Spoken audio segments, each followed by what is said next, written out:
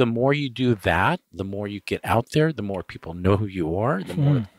eyes that see your website, mm-hmm. you know, the more people who contact you. It, it's it's it's one of those domino effects. Right. That's a, that's awesome. Now, Yeah. so the key is get a retrospective at a museum. yeah, exactly. Put that on my to-do list. Yeah,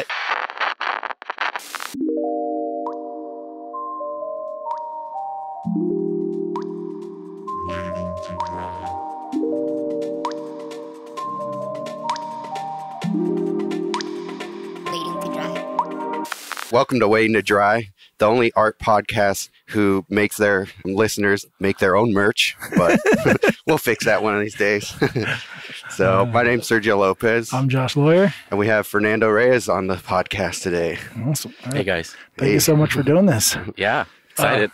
Uh, yeah. The, um, for those of you that don't know his work, um, you do well. It's hard to explain because you're kind of All over the place. all over the place. That's a good way to put it. Yeah, yeah. You seem to uh, um, dip your feet into a lot of different um, puddles or whatever. So, so uh, yeah. I mean, how did- how did that come to be? I guess we'll start there. Well, you know, I've been I've been doing my art full time since um well, I guess 90 early 90s. Wow. Really? Wow. Uh, Yeah, but um but I wasn't making money.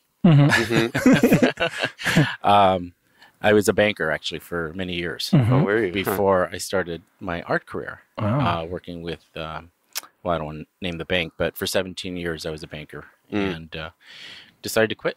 Mhm. 1991. How was that? Incredible. Yeah. it was absolutely incredible. Yeah, I um, I left a job where I had uh, a lot of responsibility. Uh, I was in um, sort of mid level management uh, and managed a, a very large portfolio. Um, left that, and uh, I knew I wanted to start my art career. Uh, that uh, uh, th- that I knew. It wasn't something. E- it wasn't going to be something easy for me to do, um, and that I really had to sort of figure all this out. Now, it did take me at least about a year and a half to make that decision. So basically, get myself out of debt, save myself a ton of money, Yeah. Okay. and lived on that for a while. Um, ended up going to school in uh, '93 um, when I moved to Chicago Okay. Okay. uh, to go to the Art Institute All So right. Where were you banking? Where were you in, the- San Francisco. Okay. yeah, mostly mostly in San Francisco. Okay. About 17 years. Okay. Yeah, yeah. I started very young, and uh, this is a long time ago. APG APG and NE was still around, so that'll tell you what bank. no, I'm kidding.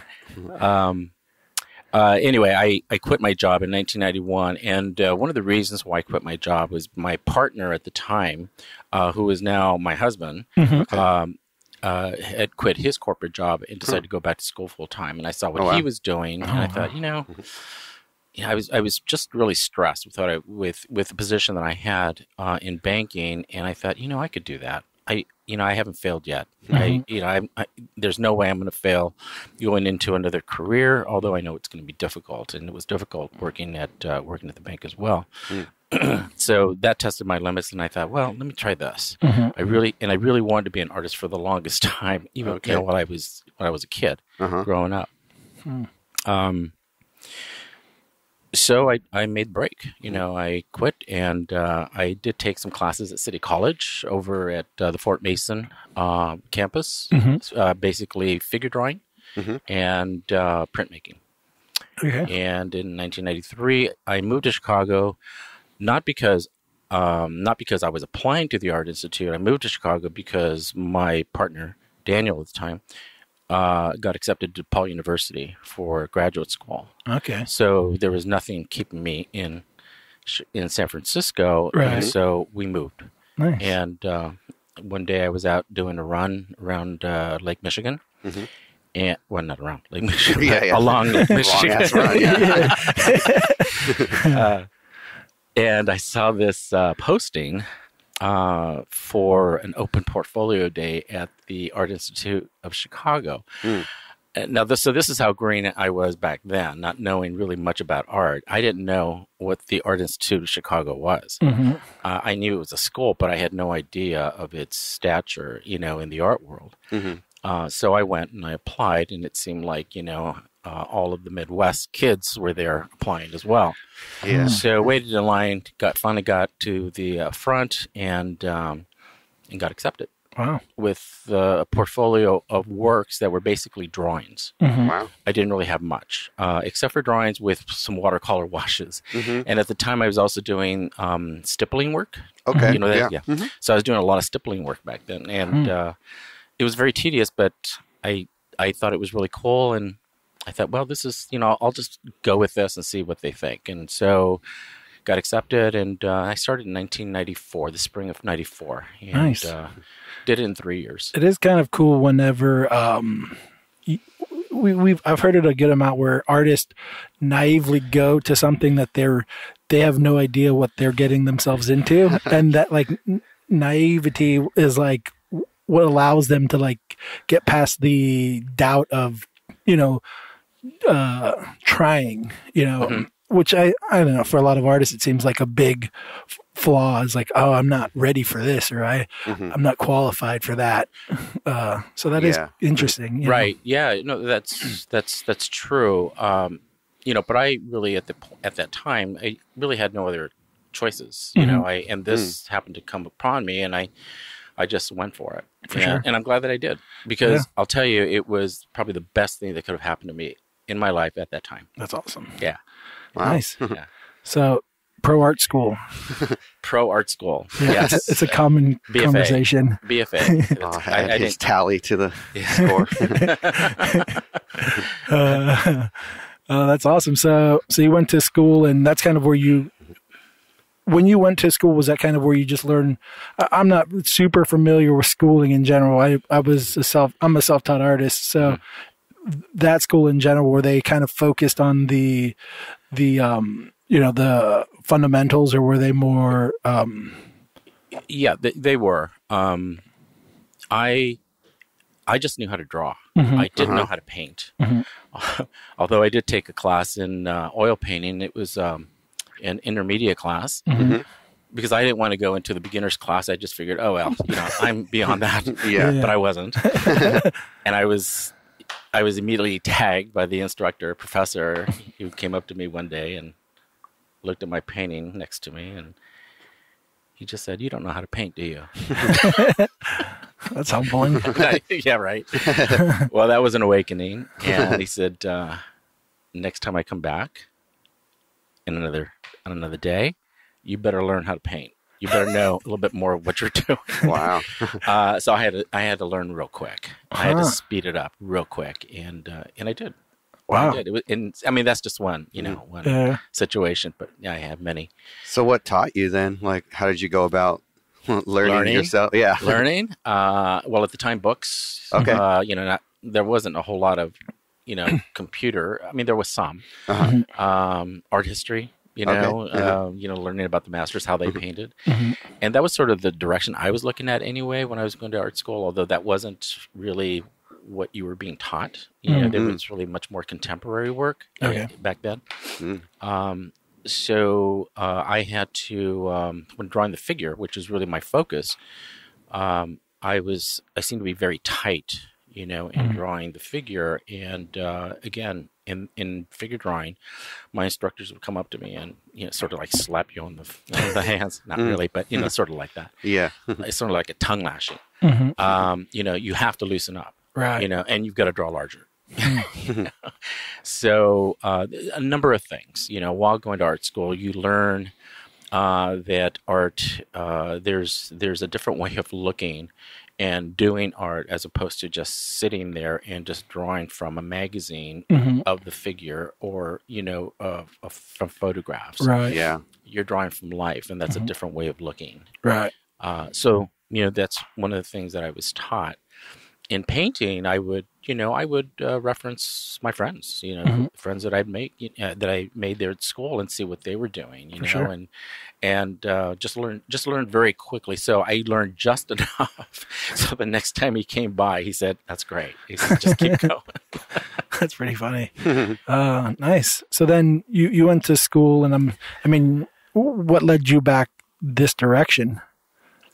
Well, um, so Daniel also graduated in 1997 from DePaul University with his master's, and um, the intention was to come back to the Bay Area anyway at some Okay. point. Oh, okay. Although I love Chicago, Chicago is a great school, a great place to live, uh, and it's a great school as, as well.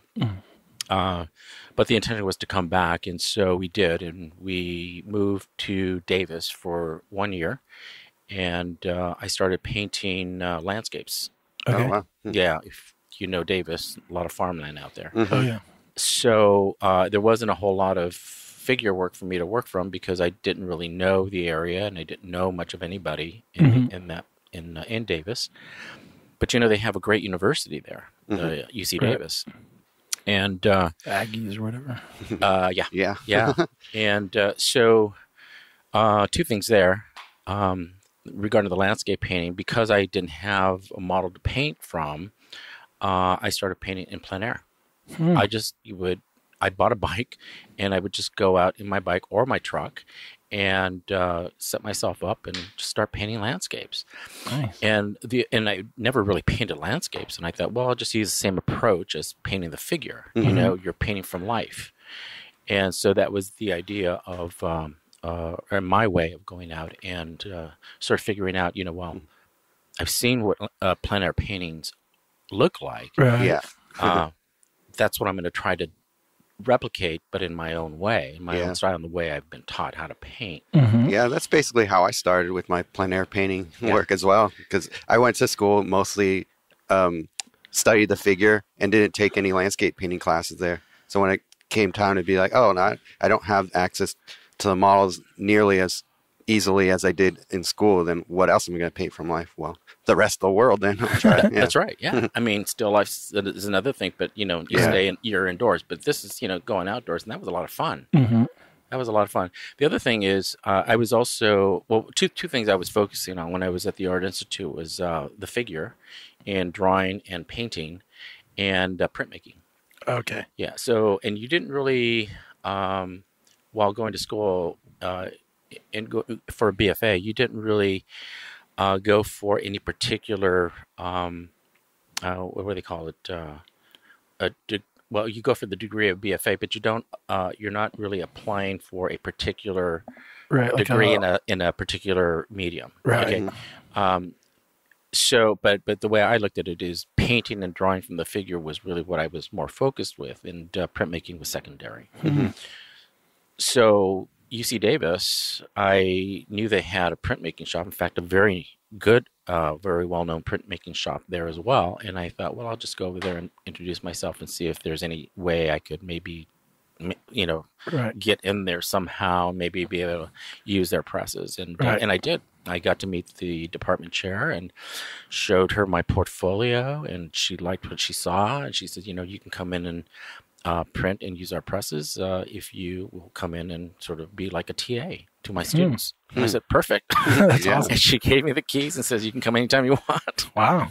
yeah, so that worked out really well. But that was short lived. All that was just just a year. Uh, and then we moved uh, to back to the Bay Area Right. and tried to move back into San Francisco. And this, so this is 1998. Okay. Um, the dot com was just starting. Mm. Mm. Yeah, housing was going crazy. Right. Uh, rentals were just everyone was trying to find a place to live in San Francisco, and it was extremely expensive. We couldn't live in San Francisco anymore because I mean, basically, we were both really out of school, Mhm. and we weren't making a whole lot of money. Right. Yeah. You know, so uh, and also uh, Daniel was doing his internship at UC Davis. Okay. That's the reason why we lived in Davis. Okay. area. Okay. Yeah. Yeah. Okay. Yeah. So anyway, 1998, uh, moved to Oakland. Okay. Yeah, and I've been here ever since. Nice. In 1989, I opened my studio here at Fort Street Studios, and this is where I've been all this time. That's awesome. Yeah. So it sounds like you almost went a traditional painter route in college and kind of a little bit after. So then if you look at your work now, there's so much more of an abstraction to your work, so much more of like uh, almost like an illustrative look to your work. you know attention to like the line work is very seems very important in your work.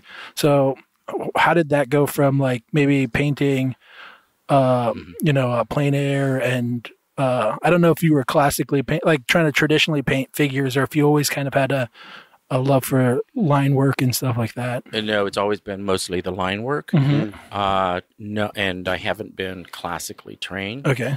Um, uh, yeah, I, I, I think about that. Um, I thought at one point that I should know how to draw and paint the figure in a Mhm. classical style. Um, but that certainly wasn't the Art Institute of Chicago. Okay. You know, you didn't, you just didn't do that. Right. There, not there. Um, and so that wasn't the direction I was focused on. I was Okay. really more focused on being very loose with the uh, with the tools that I was working with, both Mhm. in the um, in in charcoal or Conte uh, or in the brush. You know, so what you're seeing in my studio right now is Mhm. not the way I was painting in art school. In art school, I was taught to paint the figure in a very contemporary way, but contemporary um, being um, I don't know uh, with a loose, loose brush. Um, something. So some of the artists that I was looking at back then uh, were artists like Lucian Freud.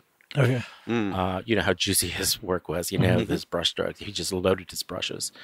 Um, but then to the other extreme, I would also look at um, I would look at Paul Cadmus. You know, and, Okay. You know, look at his you know look at his drawings. His drawings are absolutely beautiful. Mhm. So I was looking at a lot of different artists at the time, and uh, really, I didn't have a voice back then. You know, I was really, and nobody does really when you're in art school. You Right. really don't. You know, Uh-huh. uh, you you're learning think the you basics. do though. Oh, well, a lot of the a, a lot of the kids. Well, I say kids because they were kids to me when I was there. I was Right. already Yeah. going on forty when I graduated from art when I graduated from art school. So, um, yes, you're right. And uh, but I knew better. you know, coming from a corporate world, you know, you just uh, you don't go in thinking that you know you're on the top top of the world. Maybe Right. while you're at art school, yeah, that's fine. But when you're in the real world, that's a different story. Right. Yeah, but uh, uh, no. So I, I've gone through an, an, this whole process of uh, working with the figure, both in drawing and painting, to get to where I'm at today.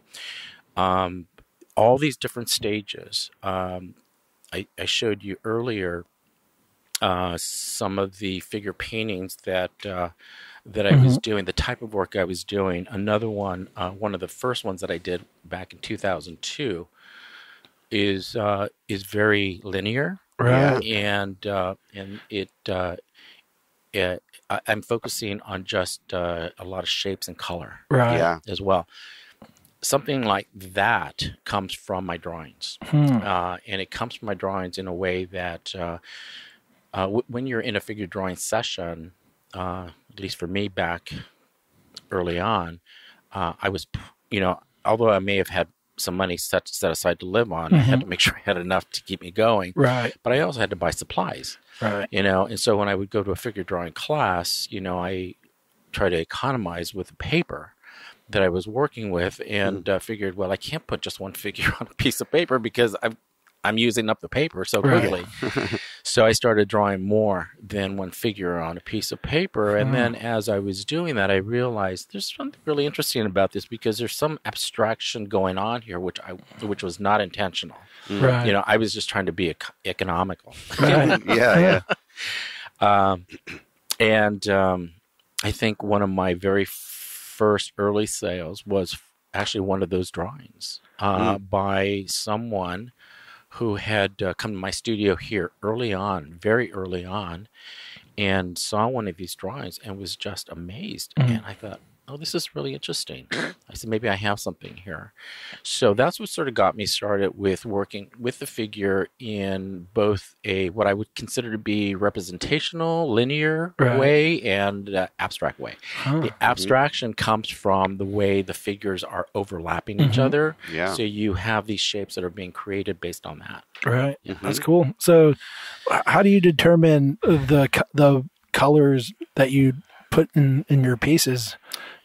Um, well, in the in the very beginning, when I started doing this process, uh, I pretty much stayed with cool colors. Mhm. Uh, you know, so the blues and grays, uh, which is what I showed you earlier. Mm-hmm. And um, again, another another collector actually uh, early on who bought one of my early pieces says, you know, I'd really be interested to see what you do with color with these. Mhm. I thought "Mm, that's interesting. I mean, I should have thought of that myself, but Yeah. you know. but sometimes, you know, I mean, this this is how things happen. For you sure. know? people Uh-huh. talk to you, and you they give you ideas. And, Yeah. and that's Exactly, yeah. what happened. And and then all of a sudden, all this color started bursting out of my palette, you know, Mhm. onto my canvases and onto my panels, and Right. and so forth. And uh, uh, so the figure was something that I've been working on for many, many years. Uh, and then also the abstraction that goes along with it, you know, Right. as a result of the way I, I work with the figure. I also work with the single figure as well, so it's not as abstract at all. Mhm. But uh, but this other style was something that I sort of created on my own, and um, and it has been successful. Mhm. Um, uh, I can't say that I was making a living doing it, Mhm. uh, but I was making money. Okay.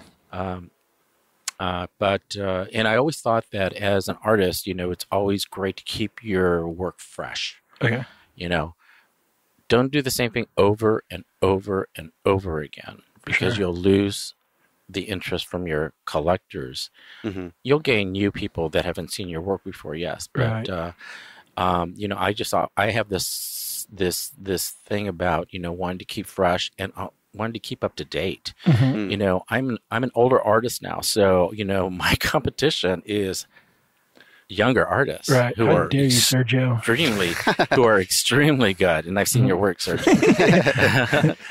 um yeah who are extremely good uh but they do something totally different than i do Right. you know Yeah. and and that's that's the thing is that's the key Yeah. you know I, i'm doing something completely different than than what anybody else is doing at least that i know of Yeah, for sure. I, I definitely think l- looking at your work before meeting you, it definitely feels like something like new or young. It doesn't seem like, uh, you know, I'm not trying to call you old, but like well i am I'm just not- saying, I'm like- not, i'm not i'm not that old it, it, it, it, uh, there is some like, you know, aspect of it where if I, someone told me it was someone that was like in their, I don't know, early 30s or something. I don't know how young I start respecting artists are, but You're, you're digging yourself deeper in a hole yeah, here. yeah, I do that a lot. um, but yeah, the, the uh, I don't know. I'm just trying to say that there is this like freshness to it that, uh, especially like your willingness to use the colors that is, uh, like you definitely didn't steer away from color, which is great. Like, uh, and going back to what you were saying earlier, where you had that suggestion from a collector, that is one good thing about like you know being open as an artist is, seems to be a very crucial thing to growing as an artist as well. You might get a hundred bad ideas doing that, but being able to like nitpick the good ones is always a great. um Yeah, you know, um, it's important to listen. Mhm. Listen to what you don't have to listen to everybody, but Right. you know, there's sometimes certain people that know what they're talking about, mhm. and uh, I don't generally go to critiques or have critiques done of my work. Right. Uh, but well, Daniel is probably my biggest critic, Mhm. and uh, and he pisses the hell out of me sometimes yeah. you know but but what pisses the hell out of me even more is that he's right Mm. you know Right. Yeah, my wife's probably Yeah. nodding her head right Yeah. now. as we speak. I'm her harshest. Sometimes I'm very mean to her as far as artwork is concerned. okay so we can relate Yeah, yeah. yeah but but then there are times when i'm not done with a piece and he'll already have something to say and i Mhm. said don't even i said it's not done let me finish it Uh, yeah. it's very very similar to my relationship. It sounds like. Yeah. but uh, but uh, but good direction he's got a good eye that's I That's do have to say Yeah, that's really great. cool. yeah and he's not an artist Mm, So, so you, so you started with these uh, these clusters of figures, kind of in this abstracted way, and it seems like you also had like where you've done like these paper cut abstractions and these um, and um, these like paint glob, like almost like scales, and uh, all these different other like avenues you're kind of exploring. Yeah. When you're when you're kind of doing that as an artist, is there any fear attached to that, or is there No, is there how, no, how no, none. I have no, I no, I'm I'm ready for any challenge. So what you're talking about, um, the well, the abstract, figurative abstract clusters of figures is the direction that I've been going for for quite a while. Mhm. And in 2012, 13, I just thought, you know, it's time to change. Mhm. I need to think about a different direction with this, and you know, where can I go from here? Mhm. Uh, but you know, I want to keep my voice. right? I don't want to lose that. You Mhm. know, I want people to at least continue to follow what I'm doing and now see something different, see something fresh. Probably more like 2014. Uh, so then I started thinking, well, what can I do to this? I started doing work where I was removing the line. Right. Oh, okay. Yeah. I removed the line and just kept kept the shapes Mhm. of the figure and still maintaining somewhat of a representational Right. aspect, but more more abstract than before. Right. Yeah. Yeah. Yeah, so that was that was one that was the next step. Mhm. Yeah, and and you'll see some of those. Yeah, you'll see that on my website. You'll also see, see some of the early works, some not a lot, but some of the early works on my website as well. So when you when you kind of went that direction, was it like like did it make you feel like you had because for me um whenever I do a big jump as far as what I'm doing, it's always like this refreshing, almost like the learning curve is the most pleasurable part of art for me in a weird way. So th- the more lost I am, or the more uh, kind of like where, where am I? Where is this going? The more like excited I am about my work. Do you find that with your? Oh, I definitely do. So oh yeah, yeah, definitely. awesome. So you also referenced, you know, the uh, the figure in paper Mhm. cutouts. Okay, Right, so right. that's another story altogether, and that happened by accident. that and it was a great accident. So uh, this was in 2015. Yeah, 2015 or 2016. Um, I went to New York. Mhm. Uh, and I went to New York because I wanted to see the Egon Schiele portraits Mhm. exhibition at the Neue Gallery. Well, at the same time, and I didn't know this, at the same time, the Matisse uh, cutout show was happening at the MoMA. Mm. So I went to see that too. Mhm.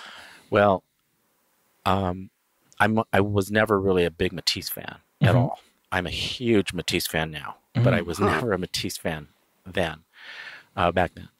When I went to the exhibition, I was completely blown away when I walked into one of the galleries, a large gallery that housed, I think there were the uh, there were five of his large blue nude paper cutouts Mhm. framed.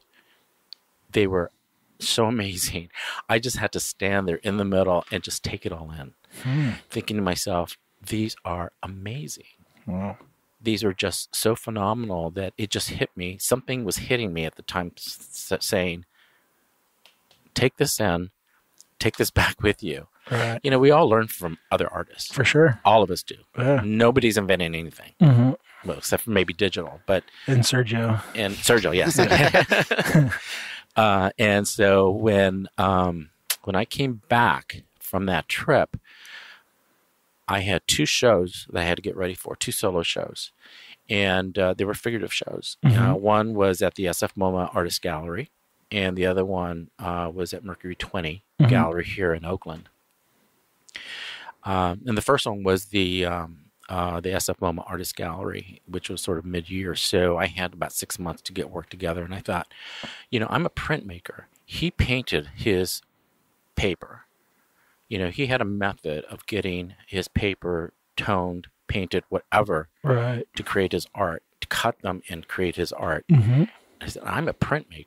I could do the same thing, but Hmm. I'll make prints. I'll make prints.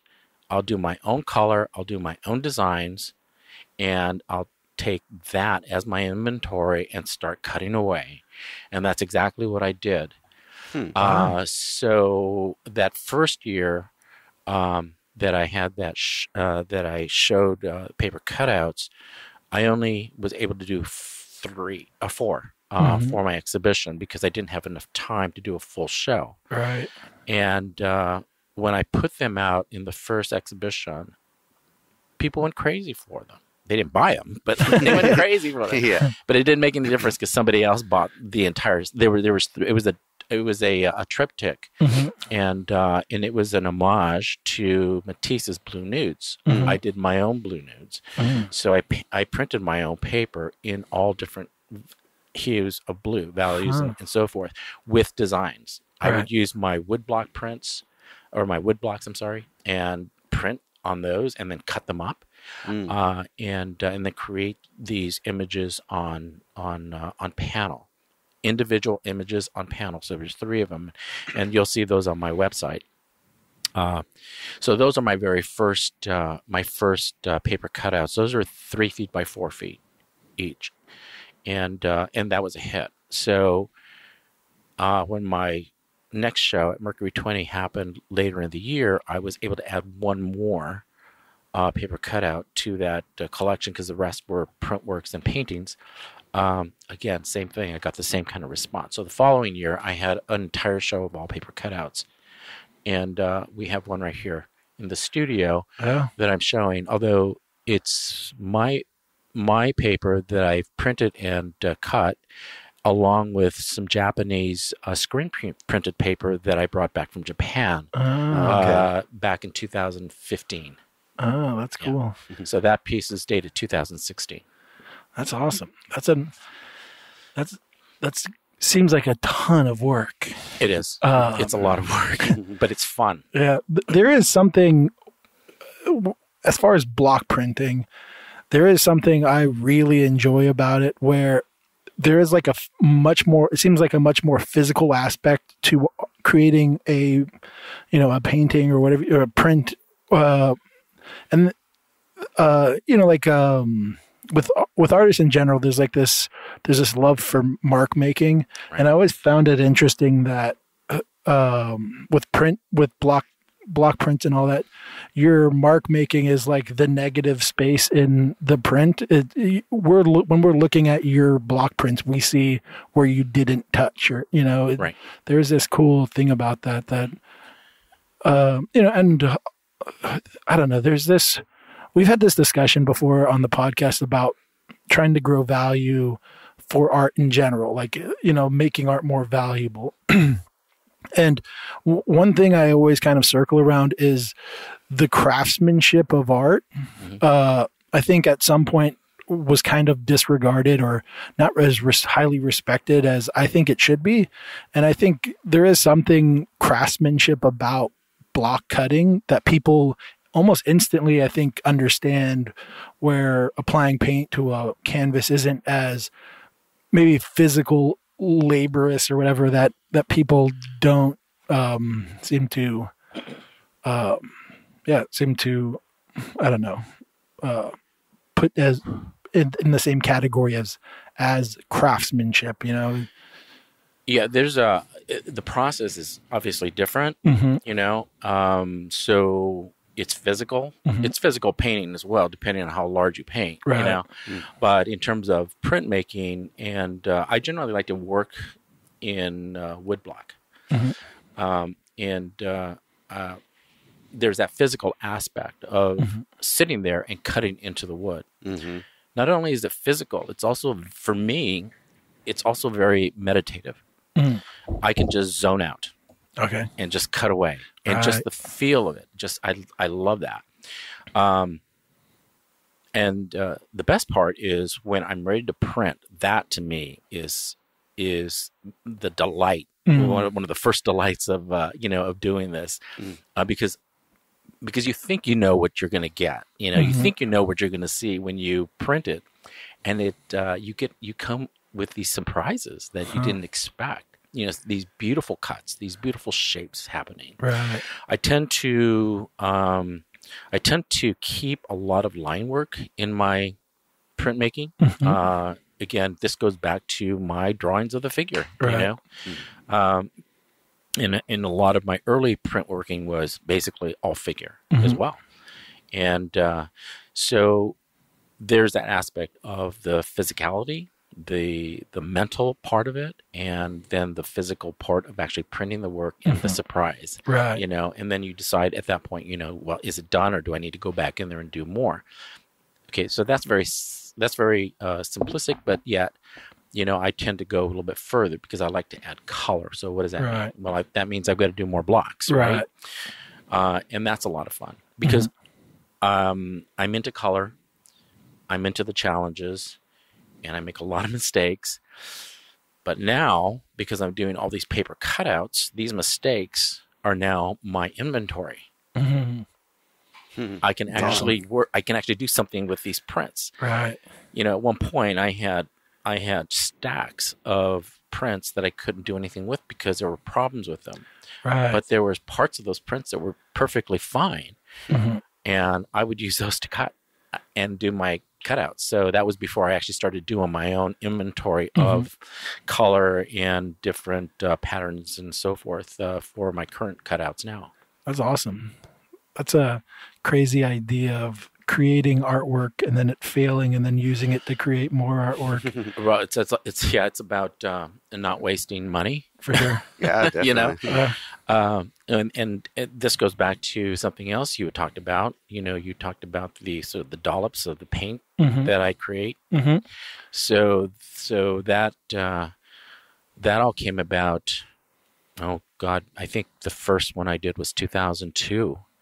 Uh, I I had I have an whole, a whole series of those, although most of them are gone now. Mhm. Um, but I had an open studio years ago, and uh, I had a couple of them just sort of hanging around in my studio. Mhm. And uh, this person came in and to my studio and said, "Well, what's that?"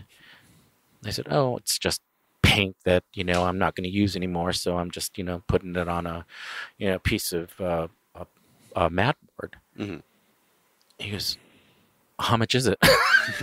I said, he totally threw me off, and I said, "Well, uh, I, I, I, I don't know." Uh, and he goes, "Well, so this is really sort of a document of your palette, isn't it?" Mm. And I thought, "Oh, you're right." Hmm. And he said, "Well, so what? Um, when did you start it?" And so we go get into the conversation. Well, anyway, it is a documentation of my palette. Right. Uh, this piece took about a year and a half to do, just to fill up Mhm. this mat board. and when you look at it, it's interesting because I've got all these interesting patterns going on, you know, and it's very uh sort of it's very low relief. You know, it's like a sculpture almost. you Right. know? And uh I mean it was something I was continuing to do anyway. I just didn't didn't think about it that way. And then of course I started thinking about it that way. Right. And I started becoming a little bit more formal about how I was applying the paint on you know, on the palette, and then eventually, or on the on the mat board, but then eventually onto either a canvas or a wood panel. Mhm. Now, some of these uh, works, and they're called. It's a series that's called Sound of Color, Mhm. um, and uh, some of these actually do take several years. It takes several years because it depends on how much I'm painting, Right. uh, and it depends on how much paint I have left on my palette that I'm not going to use anymore. Mhm. So a lot of artists don't do anything with that. They'll either discard it or, you know, I don't know what they do with it. Right. I found something to do with it, and believe me, it's it's been very rewarding. Wow. Yeah. That's, That's awesome. it's it's interesting to hear a lot of um, the directions you go are almost like stumbled upon. You know, Yeah. it's like oh, someone kind of suggested it, and I was open to hearing right. it. That's you right. Know, which is, Yeah. you know, f- I mean, I'm definitely guilty of kind of trying to tune everyone out when creating. You know, and uh, trying to focus in on what I'm trying to uh, do. And when people give me, you know, oh, I missed when you did this or whatever, I'm always like, well, I'm I'm doing this now, or you know, and uh, I don't know, maybe that's a good lesson for me to try to think about for a while. Is like uh, being more open to suggestion. Um, but that's that's pretty awesome because yeah, a lot of the stuff you it just seems like you're very open to you know letting inspiration or whatever you want to call it kind of jump at you and and take you down a different path, which I definitely am guilty of not allowing. Well, you know, it's, what's interesting is what what I do now is uh, I'll encourage feedback. Mhm. Um, and what I mean by that is there are times where I'll do something and I'm just not quite sure. And now with um, uh, with Instagram, you know, I'll just post it. Mhm. I just want to see what kind of reaction I get. Right. You know, is this something that might, you know, be interesting to people? I mean, Mm-hmm. I think I like it, you know, but then when you have that little bit of doubt, Right. this might be a good way to just sort of get, you know, what do people think? Right. And, and not to say that that's the reason why I'm going to do this. It's just, it's just a good gauge for Mhm. me. And uh, and I got to tell you, I've, I've done you know really well with some of the feedback that I've gotten from people. That's Uh, awesome. in fact, some of the um, like the new abstract work Mhm. that I do, which is non-figurative. Mhm. Um, the first time I did a couple of those, um, and the very first time was back in 2000, about 2015. Mhm. And again, that goes back to seeing the Matisse show. This evolved, this abstract work evolved from the figurative cutout. Mm. As I was cutting out the shapes to put the figure together, I would have these remnants left over Mhm. and trying to figure out what am I going to do with the remnants because some of them I may not be able to use for you know a large part of the anatomy, if- Right. you know, because my idea was to continue doing more of the figurative uh, cutouts. So I started working with uh, these interesting designs, um, which really sort of uh, echo mid-century modern Right. art For sure. you know, and uh, started putting them together. And I did a couple of small ones and I put them on Instagram. And oh my God, the hits I was getting, I was thinking, well, this is interesting. I said, maybe I should look into this a little bit more. well, I'm glad that I did. For sure. I'm glad that I did because um, it's been one of my most successful um, uh, directions in Hmm. uh, creating art.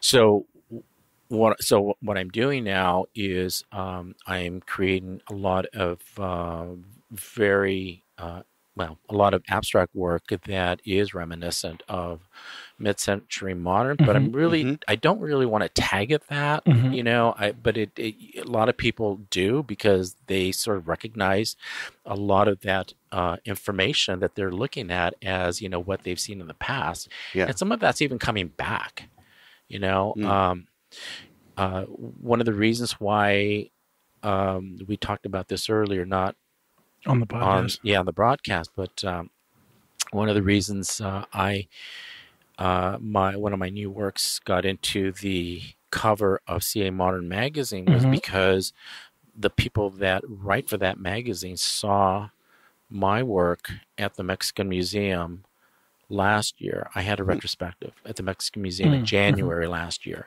and they saw the abstract work uh, actually at they didn't see it there yes they did they saw it there I get mixed up because a lot of people saw it at two different places, but uh, they saw it there and they sought me out uh, and uh, wanted to do an interview and did, and then uh, and then um, selected one of my pieces for their cover That's in awesome. a five-page interview. Yeah. So, uh, yeah, so that new direction with the abstract work, which is something I never thought I'd be doing, um, is something that has uh, really resonated with me as an artist. Something that I love doing because I'm creating the designs first. I'm creating monoprints, Mhm.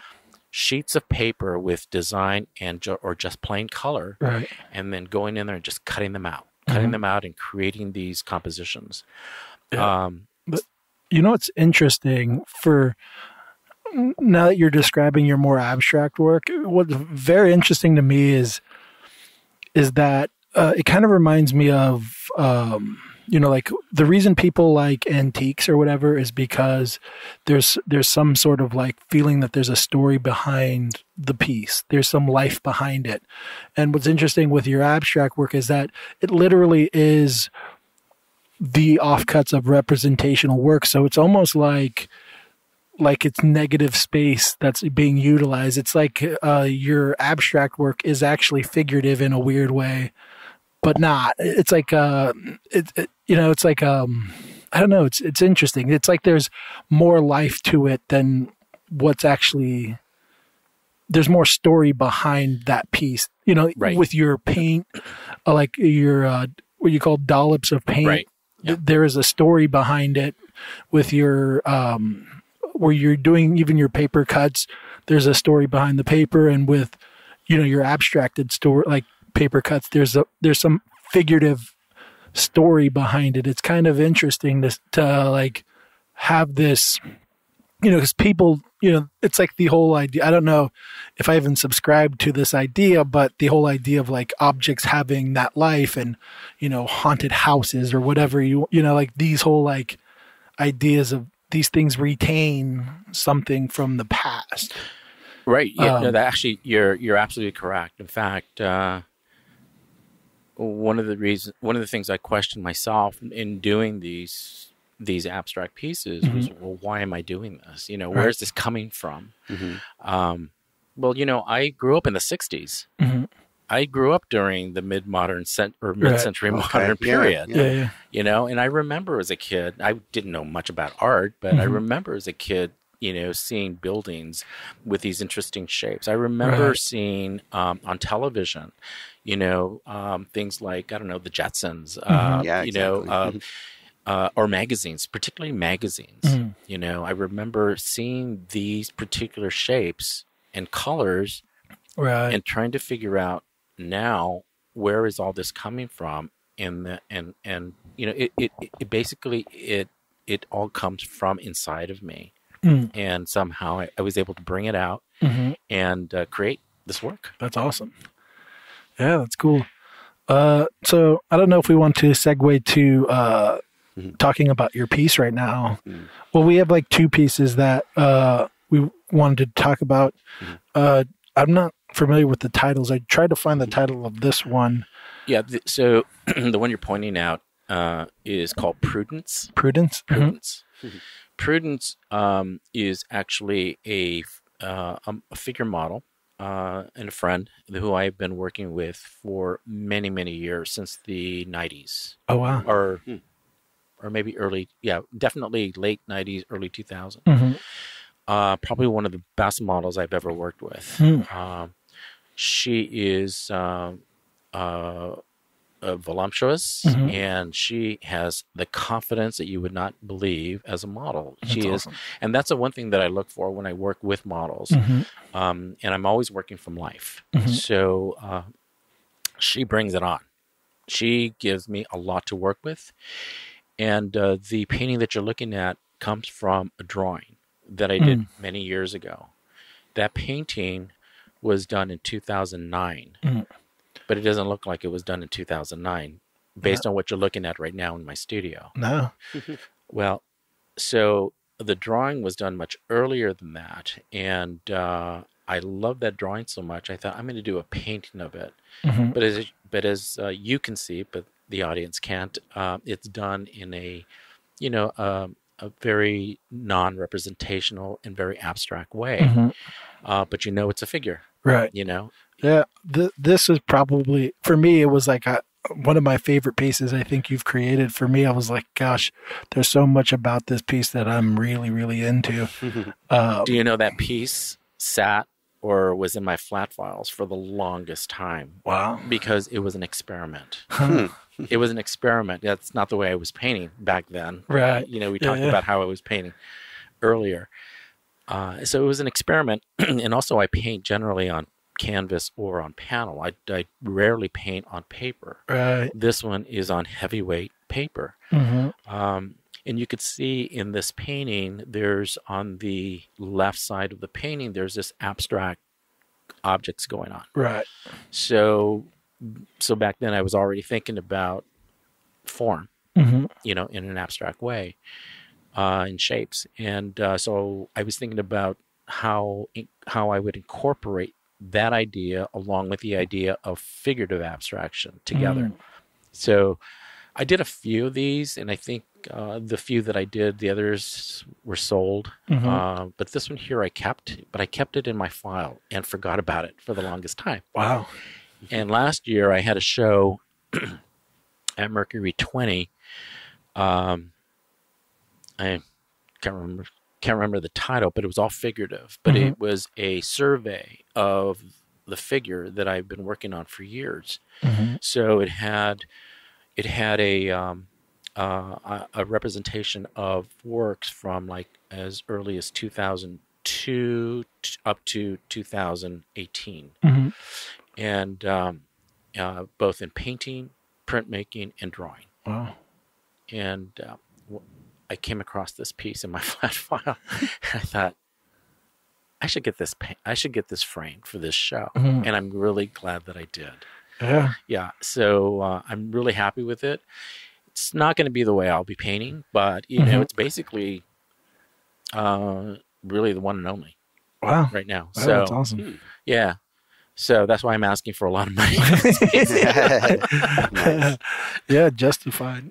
uh, yeah, the, the, I just even the I love how like there's like these warm tones and cold tones that play off each other, Yes. and uh, you know, uh, there's even like the the like there's this the top part. There's these abstract like blue that you you kind of like push through this this like a brownish color, but it it almost reminds like it it almost reminds me of block printing Uh-huh. in a way b- because you're almost paying attention to the blue shapes, the negative spaces as the almost like as the mark. You know Mhm. what I mean? Like Sure. like uh, the it's almost like you put I don't know how to explain it, but I remember looking at it and going like, "Oh, those blue shapes are so interesting," and it's so weird that they're the negative space that they're and they're the pieces that seem. But when you think about block printing, that's almost kind of how you're working, right? You're you're you're um,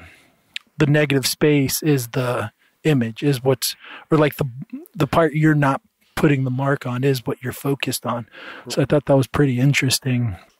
Um, Well, well, that's great. I mean, I, I, I, I didn't think of it of it that way. right. it's it's really good to hear from somebody else who has you know their own interpretation of sure. what they're seeing. Yeah. Um, I'm always interested to find out what people are thinking about. You Yeah. know, and, and uh, as as an artist yourself, you know, I think your interest goes even beyond you know just the visual. It Right. goes it goes to the how. Yeah. Exactly. You know, how is this done? You Yeah. know, why? Yeah. Yeah. Yeah, that that is definitely what as far as for me, when I ingest like a painting, it's like the initial thought is like, do I like this or not? And then then after that I go like, how did they execute it from as far as I can figure out, you know. Right. From, uh, and then yeah, what why did they decide to go that route? But yeah, uh Well, you know, there are also um, a, a number of contemporary artists that I was looking at. I'm not going to throw out names or anything because I'm really bad at that, but uh, but there are people that you know I was looking at and just sort of getting ideas and seeing what they were doing, mhm, and so that's the reason why I said that this particular piece was an experiment. mhm. Um, uh, if you look at that uh, red uh, indication on the bottom there, Mhm. you know, I've done that with several of my works, and that all comes from looking at works of Nathan Oliveira. So I will throw a Mm. name out, okay. who I really love a lot. I love his work immensely. I, I, I love the entire Bay Area figurative movement and Okay. the artists at that time. So I was I definitely looked at a lot of a lot of that work. But there's Mhm. a lot of contemporary artists today who are not part of that. Uh, who I was also looking at just to see what they're doing. Mm. You know, they're doing something much different than I than I was at the time Mm. and uh, and I felt like you know I really wanted to just sort of look for something different. Mm. hmm This didn't go very far, but I'm sort of glad that it didn't because um, I like the direction that I'm going with right now. That's awesome. Yeah. And then the second piece is the piece we talked a little bit about earlier, being on the cover of CA Modern. CA Modern Magazine, yeah, Uh, and it's it's a man, and then so this is kind of where the man and the abstract are uh, kind of playing off each other, and correct. Yeah, it almost looks like camouflage. Mm. yeah. Yeah, And we talked a little bit earlier how like uh, there are, there's like this odd similarity between you and Sergio in a way where the background and the figure are playing with each other, um, uh, which was kind of interesting. Uh, but yeah, so this is you said this was a direct a direction kind of like that you're at right now based off of your past uh, art. this Uh, is this uh, the piece that we're talking about now is called Tranquility, or Mhm. twi- I'm Mhm. sorry, Tranquil, Mhm. uh, and it's uh, one of the newest figurative pieces that I've done, uh, and it was also done for the show, the figurative show that I had last year at Mercury Twenty. Um, basically, this is an accumulation of everything that I've done with the figure. Mhm. You know, this is basically what it's resulted to resulted to now. Uh, but going back to Prudence, so that piece was done from a drawing Okay. that I still have. Okay, Mhm. this painting, uh, Tranquil, was done from life. Mm. Oh, wow. So the model, so I had the model come here. I had the the the canvas on my um, on my easel, and I just started drawing Mhm. uh, from life. So with that one, I I did document the uh, progression. Mhm. So you you saw that I Yeah, think yeah. on on Instagram or Facebook, one of Yeah. those two. Um, the draw, I love the drawing, but the Mhm. drawing is no more. Right. it's in there somewhere. Yeah. you know? Oh, yeah. Uh, yeah. Uh, uh, I love the drawing because I love the line work, but Mhm. you know, I'm willing to give up that line work in a piece like this because I'm looking for a final product, a Right. dr- a, painting based on that line work, that mm-hmm. drawing. Yeah. yeah, That's I kinda go through a similar thing all the time. Yeah. Yeah. It's it's funny because even when I was I was talking to my wife about your work, and I was we were talking about that piece in particular, and I was like, "Oh, I love the drawing so much. Like, I almost wish he didn't cover it." uh, but yeah, I mean, it makes sense. There is that. Uh, as, as far as artists, there's always things you have to kind of sacrifice for the big picture, Well, you know, and that's also why you document, right? right? Mhm. So Yeah. you can also, uh, you know, eventually when this sells, Mhm. um, you could always refer to the documentation of the progress for this piece Right. to the collector. Mhm. Right. And say this is how, this is where it started, and this Mhm. is where it, where it's ended up, Mm, and then you know going further with being published. right. You know, so uh, so the process there was. uh, My intention was to incorporate these um, these shapes hmm uh, designs into the figure. Mhm. Uh, wasn't really sure how it was going to work or if it was going to work, but again, it had to work. Mhm. You know, I had to make it work, um, and uh, and then also choosing color. You know, and figuring out well, you know, I.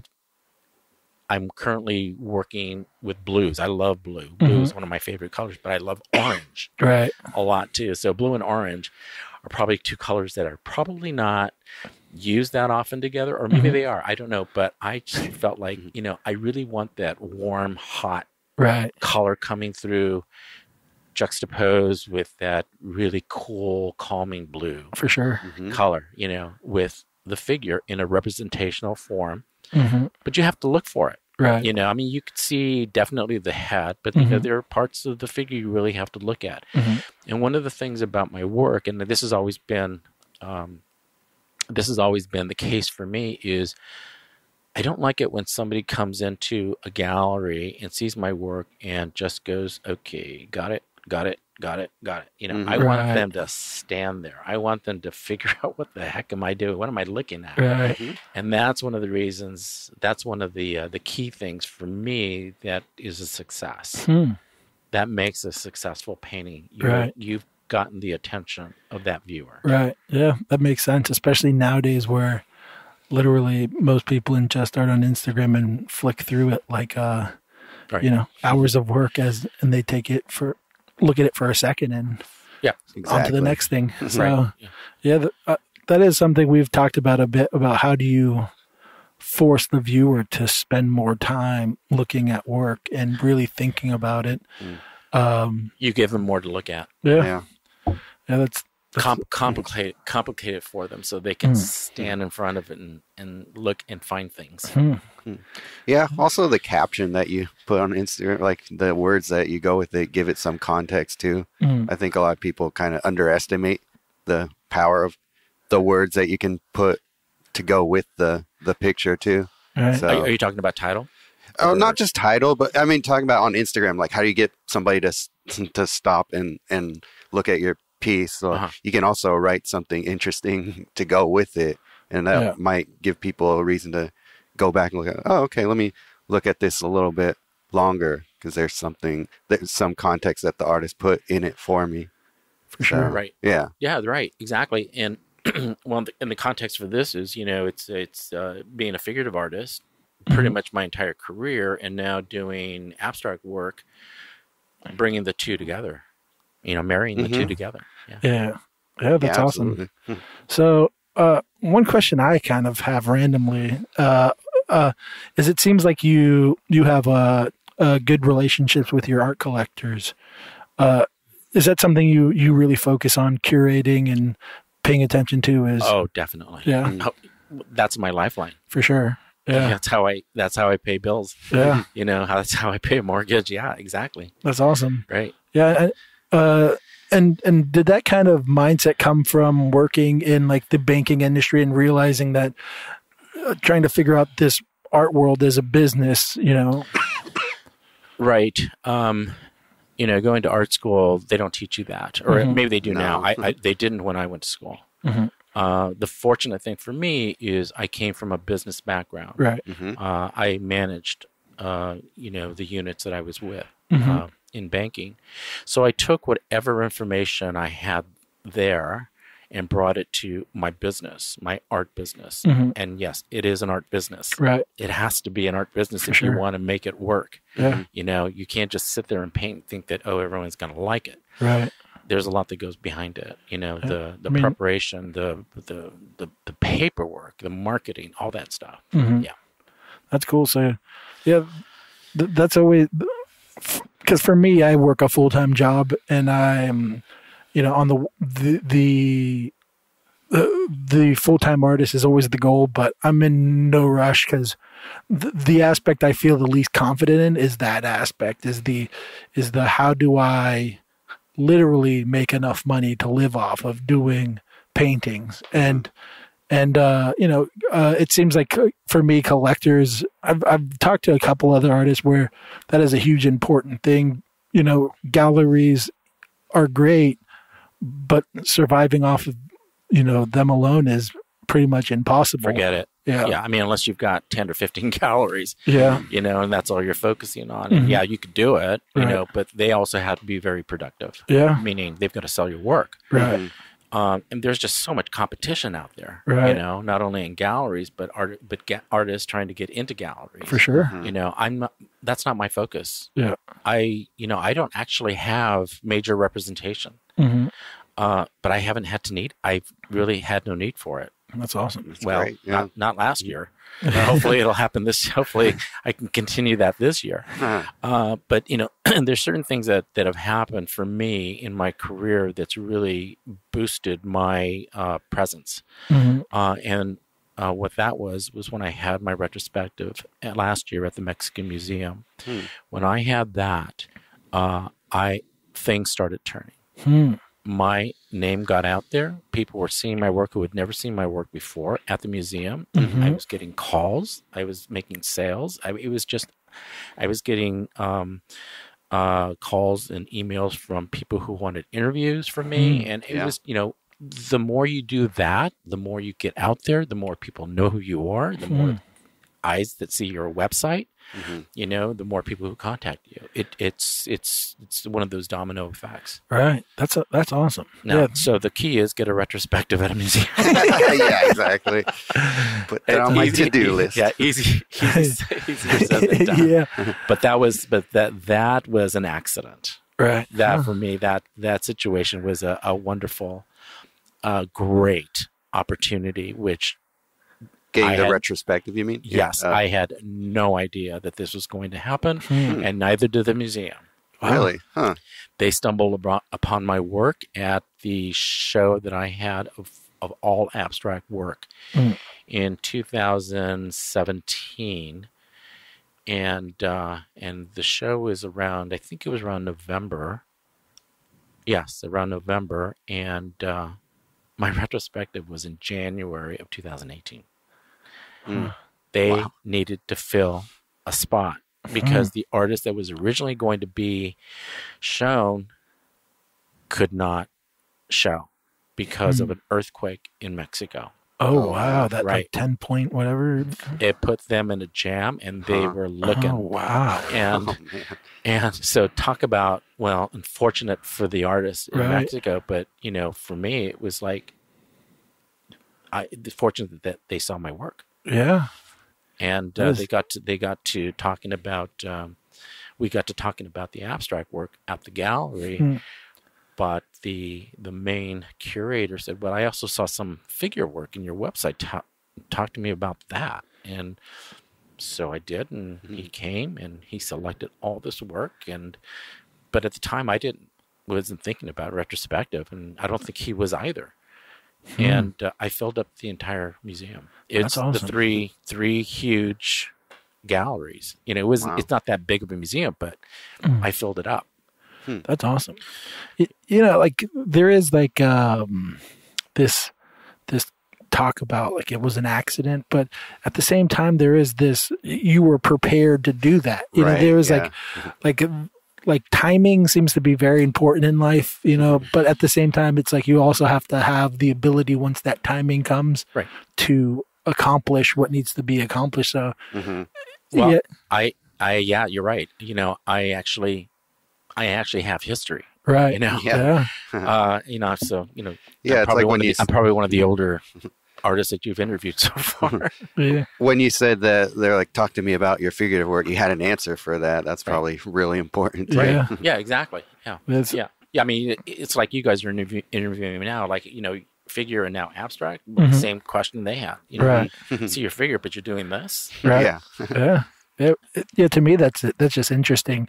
It's always interesting to me when people are able to kind of have different sections of what they're creating and you know, and they might melt together and they might have their own little universes or whatever, but it it seems um what's the word I'm looking for? Kind of like like a relief or something like like uh enjoyable. I don't know how to explain it. Just like uh to have that many different outlets of creating to me is like oh that seems great. I need to figure that out maybe a bit but i don't know i'm i'm, I'm always going back and forth i'm also like i should focus on this and put all my attention and you know but yeah it's whatever Well, you know, I um, I get I get the question from people.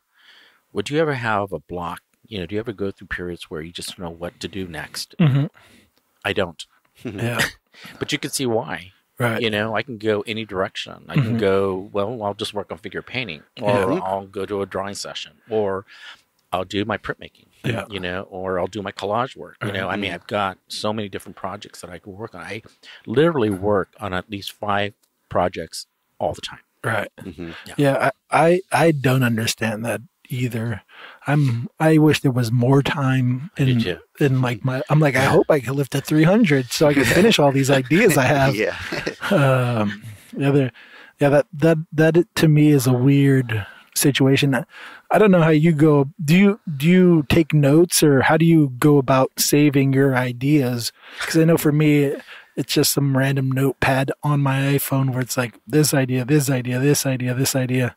It's just all in your head, That's huh? all in my head. Wow. But but sometimes I don't remember them. Mm. You know, and I should be writing things down, but a lot of times I don't. What I do write down, and I but I've stopped doing it. but for years, I was writing down possible names for uh, exhibitions. Mhm. You know, Oh, if I was going to do an exhibition, oh, this is this would be a good title for it. Right. You know, so I have this whole list, and I I can look at that list right now and think, and probably delete more than half of them. Right. Thinking, no, these are stupid titles. Yeah. You know, I would never use these. hmm Yeah, I, w- I w- the other day I was just looking through my ideas and there was one and I read it and I was like, I have no idea what that's about. it sounds so stupid, but in the time I thought of it, I was like, oh, that might be something interesting to do. Right. So um, yeah, but that's interesting that you just have them in your head because Yeah. that's my fear is always forgetting. Well, but that was my fear for a while too. But then Mhm. I then I've just decided, you know, I don't need to do that. I Mhm. mean, I don't want to do that actually Right. because I really would rather have it come out of me just either remembering Mhm. or somehow subconsciously subconsciously it's going to come out of me. Right. You know, and because I want it to be my own. Mhm. You know, and even though you know it's because I've seen other works and there's maybe some reference Mhm. you know but you could you wouldn't know Right. you know uh, i again my the idea is making keeping my own voice For sure. you know Yeah. Yeah. That, another thing that's interesting is when you went to the um, Matisse gallery or the gallery that was showing Matisse moment or uh, that um that seeing it in person was such a big influence. You know, Mhm. it goes back to what we were saying a little bit earlier about people in, ingesting Mozart through Instagram. But it's like there is that importance of seeing some works in person and you know understanding it on a different level. You know, especially you, you paint at such a big scale in some instances that uh you know a two by two screen or whatever it is three by i don't know how big the screen is but you you just it just doesn't do it justice It doesn't, and, I think it's true. For, I think it's true though for all work, whether it's Mhm. small work or large. You know, the screen doesn't do it justice until you actually see the physical work. yeah Um, so going to museums and going to galleries is really important. Mm-hmm. Right. You know, and and I s- I say that like I go all the time. I don't. Yeah. You know, but it is, and I used to. Uh-huh. But I find that you know a lot of times I just don't have the time. yeah You know, there's a show I want to go see, and I'm like really excited about it, but you know, I'll see it. You know, later it's gonna end in three months, so I've got plenty of time, and then three Yeah. months have gone, and I'm thinking, oh, I just missed it. i hate Uh-huh. that yeah that happens way too often I know. it's it's but it yeah it, one of the things for at least for me as an artist was i'm so used to going to shows that i'm a part of and not mm. going to other shows. So whenever me and my wife get the chance to go to shows that we're not a part of it's so nice because we also don't have to talk to people if we don't want you know Right.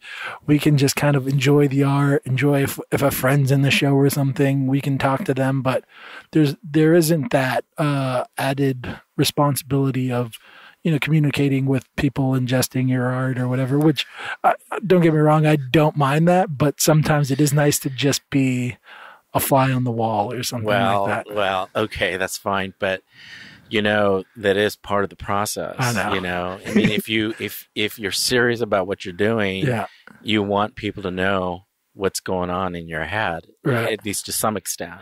Yeah. You know, if they've got that much interest that they're going to approach you and they want to talk to you, oh for sure Yeah. yeah, don't be a fly on the wall in your own show. no no never that yeah, I'm, I'm the drunk guy who's screaming at the Get get away from the bar. uh, but yeah, yeah, that that is um, pretty cool. Um, how are we doing on time? We still have plenty of time. Oh, yeah. Okay.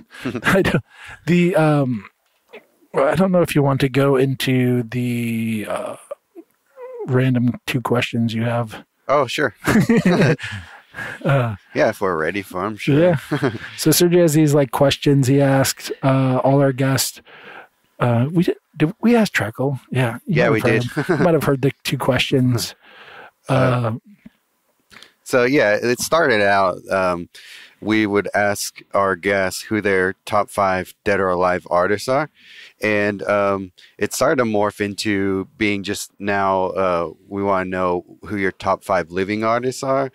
Uh, partly because we're getting kind of the same answers, but I don't know. Your work is you might have different influences, so it might not be the same five uh, dead artists that everybody else is influenced by. So I kind of just want to leave it up to you if you want to um, um, talk about which five artists that you're really into right now, or um, that maybe if you wanted to also like the people who influenced you as you were um, learning to be an artist. All right. Yeah, well, so that goes back to going to art school. Mhm. Um, uh, I mentioned two already, actually 3 Mhm. but uh, two for sure. Uh, Lucian Freud for one, Mhm. who Okay, I yeah. discovered in art school. Uh, Paul Cadmus is another one. Mhm. More more for drawing, Mhm. not so much for painting, Mhm. although he painted as well. Um, and uh, oh, Egon Schiele. Oh, sure, yeah, Egon Schiele. Mhm. He's probably the you know my number one. awesome. Um, yeah, with my drawings, um, and it's not something that uh, I was trying to mimic or achieve, but with my drawings, um, when I show them to collectors, pe- people who know who Egon Schiele is, not everybody does, Mhm. um, they'll make a reference to, oh, you know, do you know Egon Schiele's Mhm. work? And I said, yeah, of course I do. yeah, exactly. Yeah, he says, well, I see a little bit of Schiele here, or Mm. you know, maybe Uh-huh. the hands or the feet or something, you know, uh, or Toulouse-Lautrec, you Mm. know, this, you know, Okay, this kind yeah, of people. So I we're talking about older artists here, but you know, those are the ones that I was looking at, you know. But Mhm. even going further than that, you know, because I I just didn't really know much about art and art history hmm uh, when I first started art school. You know, I was really into the Renaissance. Mm. I was Hmm. really into Michelangelo. I was Mhm. uh, really into Raphael, and then learning all the other uh, old masters. Right. You know, particularly the the, the drawings. Mhm. Um, not s- Mhm. not so much the painting so much, but more the drawings. Mm. I was really into the drawings. Awesome. Yeah, that makes sense because all the people you um, that you just mentioned, their work is so focused on line and not just like line as like a delicate thing. Their line is very forceful out of them Mhm. as well, like Schiele and, and um, even uh, Lautrec to a certain extent. There's some, um, yeah, a mix of like fluidity and and um, strength in their Right. drawing. So yeah, I could see that how that comes through in your work. Yeah, and and the and the others that uh, that I looked at for many years, and I really haven't referenced much to it even now. But uh, but you know, the Bay Area figurative artists. Mhm. Mhm. You know, I looked at a lot of their work uh, when I got an opportunity, whether it was in a museum or in a gallery show, but definitely books. Mhm. You know, definitely books. Um, now, those are figurative artists that I'm talking about. You Mhm. know, but now I'm doing abstract work too. Right. And you know, and, and the type of work that I'm doing in the way of abstraction, who do I, who do I look at? Um, I I'm really looking at everybody who's doing work that's either similar or just doing abstract work. I, I've gotten this affinity for abstract work. Yeah. You know, I can't seem to get enough of it. Huh. But uh, two names do come to mind um, when I think about. Oh, uh, Matisse also, of course. Mm. Uh, but uh, two names come to mind, and um, w- one of the artists is no longer here. Rex Ray. Rex I don't know Ray. if you know. Don't know that one. Oh, you should I'm- know Rex Ray, Bay Area artist. Okay. He passed away about f- three, four years ago, I, I Mm. believe. Uh, I've always loved his work, and uh, uh, uh, my work is not anywhere near his work at Mhm. all. Uh, but um, but there are certainly some, I think, some possible references Mhm. Hmm. uh, to what I'm doing based on what he has done in his lifetime. Mhm. Um, and this other artist by the name of James Kennedy, Hmm. uh, he actually is um, represented by Dolby Chadwick. Oh, Mhm. okay. Yeah. Yeah, and uh, I mean this guy is awesome, uh, and and his work is probably even more so. I think uh, I look at his work probably even more so than I do Rex Ray's work. Uh, he's he just worked really interesting with shapes, you know, shape and color. Mhm. Uh, his colors can be very subtle, Mhm. uh, or they, you know, can be they can be loud, or but mostly subtle. Mm. Um, so in terms of uh, abstract, those would be the two that I would probably look at at least now. Mm. Hmm. Uh, but uh, but like I said, I look at a lot of abstract work. I Yeah. look to see what people are doing, particularly my contemporaries, Mhm. and particularly on Instagram. Right. I love going to Instagram is- just to see what pops up. Yeah, for sure. When Yeah. you look at the abstract art, um, do you is there anything in particular that you tend to fixate a little bit more on, like shape and color, for example, that sort of thing? You know, I tend to fixate more on um, uh, work that's that's retro. Okay. Mhm. You know, I, I mean that's really what I'm doing. Mhm. Yeah. You know, and and there are artists that uh, that I've sort of keyed into on Instagram that are doing some really interesting works. Don't ask me about names because I can't remember, but it's really more visually of what I'm looking at. Mhm. Right. you know, and uh, and that's what's retained in, up here. Um, so uh, yeah, it's it's sort of that direction is is really what I focus on, but I look at a lot of abstract work. Yeah. That's cool. Abstract expressionism is another area that I like a lot. You know, Yeah, Paul- I've started to look at that more. Yeah, Pollock for one. Um, Hmm. You know, very abstract expression. He gets brought up a lot on our podcast, but probably for different reasons. well, I'm not, yeah, I'm not his biggest fan. well eh, i'm not saying that i'm a fan of his work necessarily but I, I mean i like i like what he's doing and and the reason i say that is you know there's uh, some work in my portfolio and i don't know if you if you've uh, looked at it but uh, this is also very abstract it's uh, it's work like okay. Yeah. those yeah. paper cutouts Uh-huh. okay, Yeah. sure. very abstract paper Right. cutout shapes that Uh-huh. are one on top of another Right. Yeah. so I've done several of those, and uh, those have been very successful. You Mm. know, and they're tedious to do. they're there are a lot of you know Pollock would you know work very quickly with Mhm. his paint you know on the floor Right. where I'm actually taking one little piece at a time and mounting it on this panel Yeah. and literally each piece it's not like I'm throwing it on the panel and, Right. and gluing it down Right. I'm actually meticulously selecting each piece and sometimes having to cut them, clean them up or something, and then placing them and then creating the composition. Hmm. So the biggest one I've done is a 48 by 48. And um, um, Do you- those to me would probably reference more back to that period, the abstract expressionist. Right. Now that again is also uh, a uh, an interesting um, accident because again it's going back to my remnants, figuring out what am I going to do with all this stuff. Right. Yeah. Yeah. Yeah, that's awesome.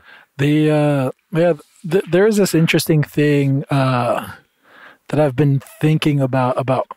Well, it seems like what the, the younger you are as an artist, the less you're into abstract work. I, at least for me, that's how it's been.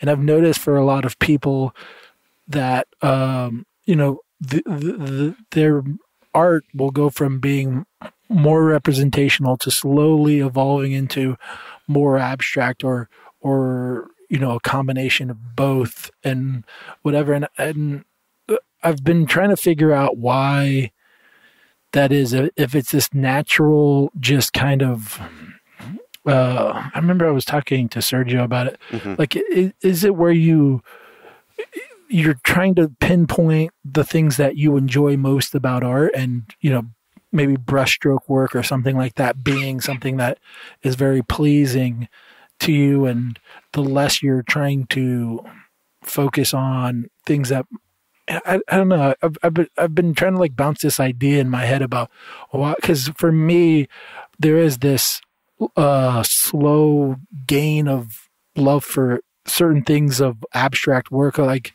i know uh mark english um is an artist that i'm really really into right now. And he's uh you know he started off as very classical like very uh representational work. And kind of transition. and it's like this and he still comes back and forth but it's this interesting you know in between that i really love kind of like you know how you're combining the two Right. that uh um i don't know I'm Well, just- Well, you know, uh, Picasso Mhm. was like that. You Right. know, the guy could draw, Mhm. the guy could paint. right You know, and then he went very abstract. You know, and his work. I mean, the guy's amazing. yeah Well, so Picasso's another one that I looked at a lot too. yeah. I could see that. in but you your- know, a lot of definitely. people who know a little about art history Mhm. don't know that. right I mean, he could actually really draw right yeah beautifully. Mhm. You know, uh, and and the guy did everything. Right. You know, he did painting, he did drawing, he did sculpture, he did ceramics, he did. I mean, he did block printing, sure incredible block printing, Mm. etchings. I mean, you know, you name it, he did it. Yeah very proficient very Mhm. proficient. And um, you know, I'm not trying to follow that track, but Right. you know, in, in a way, that's really sort of what I've done. You know, Mhm. where I've gone from the traditional figure drawing Mhm. and painting to what I'm currently doing now, which Right. but I'm still trying to keep that sense of, you know, what I've done in the past, bringing it now to today. Right. Yeah. Also, we haven't really talked about your. I mean, we have talked about your figure drawing. We haven't talked about them as their own works of art, but those are also one of my favorite things you do. The, there was like this exaggeratedness to your drawings that I love. Uh, and I don't. Did you? Is that just natural that you developed over time, or? Um, yeah, it was definitely something I developed over time Mm-hmm. because if you remember in the beginning of the interview, Right. going to art school, you know, basically slapped my hand saying, you got to loosen up, Right. you know, and draw larger. Mm. Um, so once I started drawing larger, that's when I loosened up. Right. And uh, and when I started drawing the figure, I was working with uh, with uh, graphite. hmm I, I don't work with graphite anymore unless I'm doing just a very you know simple sketch for some project. Mhm. But uh, generally, it's uh, with uh, Conte. I love working with Conte, and uh, and sticks, Mhm. and not necessarily Conte pencils, but sometimes I'll work with those as well. Um, So like a sharpened stick of like compressed charcoal, basically. yeah, Yeah. you know, I'll use I love uh, those, I'll yeah. use an exacto knife just Mhm. to sharpen it, get Mhm. it, get a, a nice, uh, you know, tip on it, Mhm. and then I'll use that. And the way I approach the figure when I'm drawing, especially if it's a timed Mhm. drawing, um, gestures are w- one of my favorites. Mhm. Uh, like, well, audience can't see, but behind you, there's a drawing there of a male nude. Right. So that's, I think, like a seven minute drawing hmm or 10 Mhm. minute drawing.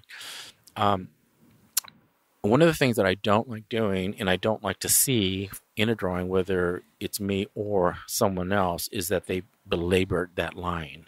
Mm. You know, is where they've just like been very careful Mm. about making sure that it's the right line for that particular part of the anatomy. hmm I approach it by just attacking it. Right. I go into that piece of paper. I look at the model for a few seconds first, and I visualize what I'm going to put on the paper and where do I start. hmm I start with the head, but the head is just a shape, hmm just a real quick shape. Mhm. And then I'll start blocking out the figure very quickly, and then go right back in very quickly and start drawing uh, the the permanent line basically hmm and I weigh the amount of pressure on my uh, on my my uh, Conte Mhm. by if if so when you're a lot of people when you're drawing the figure you model the figure by adding in shadow and so Mhm. forth. I don't like I don't I don't like doing that. I would prefer letting the line do that. Right. Let the line create the volume of the figure. That's what I go for. Mhm. So, and that's, and by doing that, there's two things. It's about the amount of um, pressure Mhm. you're applying to your to your uh, uh, Conte, and and and not necessarily thinking about well, I gotta I gotta go light here, I gotta go heavy there.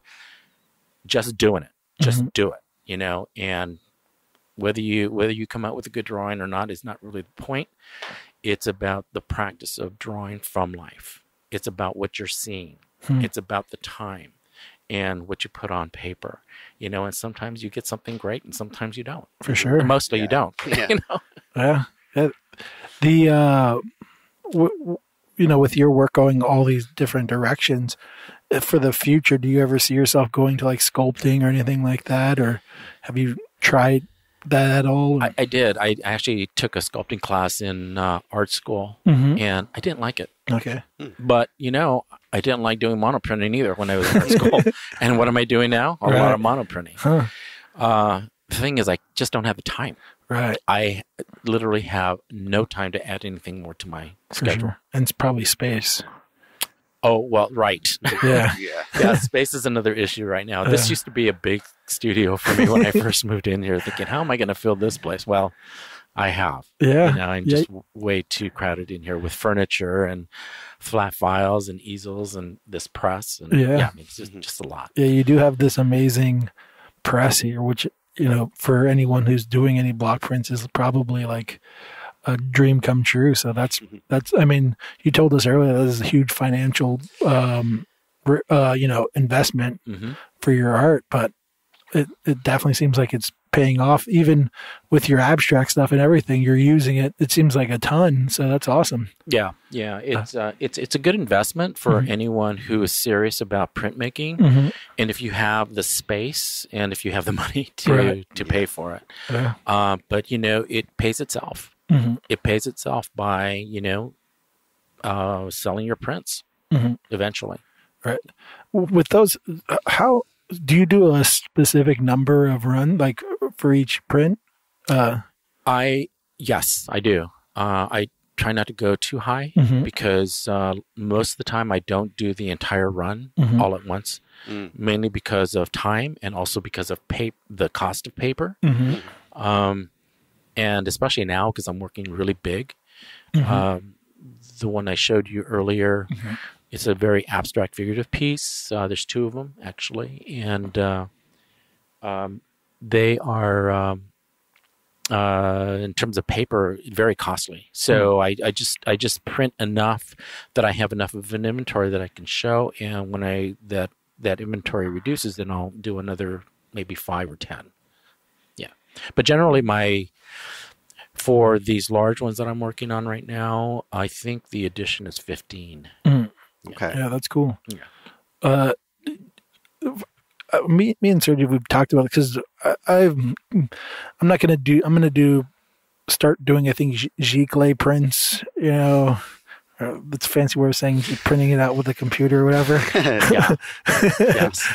um, but we've had this discussion about uh, just prints and how you keep some sort of value to them and limiting the amount seems to be a good way. I mean, uh, there's no comparison f- of those prints compared to a block print where there is this physical aspect to it and this, you know, handmade uh, Right. property to it. Uh, but but that is, yeah, 15 seems like a good number. I guess. what I'm trying to say. uh, Well, the thing about giclée prints, excuse me, I I've had uh, many people ask me if I could have if they can have a print of Mhm. a particular piece, right. and uh, I, I I don't do that. hmm I don't do that because it's it's not worth my time, Right. and you Mm. know, a lot of times they're thinking about a little eight by ten. You know, Right. you know, you know, if I'm going to do a print of this, I'm going to do a print. Hmm. You know, I'm going to. It's going to be a sizable print, Mhm. but it won't be cheap because I don't Right. do that. You know, I'd have to have it done by somebody else. Mm. I'm having a weird deja vu moment. uh, and uh, and it's it's okay. I mean, giclée prints. I mean, that's a lot of people. That's all they can afford. For sure. You know, and uh, it's really sort of a, it's really a compliment when somebody wants to have your piece, but they just Right. can't afford the original. You know, so, Yeah. so the next step would be, well, do you do giclées? Right. And I I personally myself do not do giclées. Right. Yeah. yeah. That's that's always the dilemma is because art is so expensive. Do you know? Because I've I don't think I've ever done them, but there is this side of me that like wishes people that you know have smaller funds could you know get some sort of version of what I'm creating. It also goes back to the whole like trying to curate collectors. You know, it's like buy something small and hopefully that becomes something bigger and bigger um, kind of uh, model of you know dipping because for me when i was a kid it was always like or when i was younger if i'd buy something it might be like a art t-shirt or something like that you know and that was like the show my love for artist i liked or a print and Right. Yeah. Well, one of the things about selling art Mhm. uh, and also one who's a painter and a printmaker, uh, prints are obviously a lot less expensive, Mhm. and so they're a lot more approachable to um, a, a larger mass of people. Mhm. So, uh, so I can offer that, right you know, but I can't offer uh, a print of a painting in a woodblock from a painting. right And if I did, it would be it would look totally different. Mhm. But the reference is the painting you Right. know and so that's something that i can offer if i if i have something available like that Mhm. um, i have a large collection of uh, print, prints both in uh, in basically monoprints and also block printing Mhm. mostly wood, mostly wood block um, but i don't promote it as much as i used to because what i'm finding is that people want the original Mhm. and so that's where most of my focus is is doing the one of one of a kind piece right so the printmaking that I'm doing now is only because I'm creating inventory to do these cutouts, these paper cutouts. huh. One thing I've always been curious about, and maybe it's just because I don't understand it very much, is uh, what's the advantage of doing a mono print versus like a, a any other type of print? Uh, Well, the advantage there, excuse me, is that it's one of one. right. So, uh, and it's it's you could sort of look at it as being a painting and a print all in one, Uh huh. and uh, so you can charge more for it. Uh huh. Mhm. and uh, and it won't take you as long to do.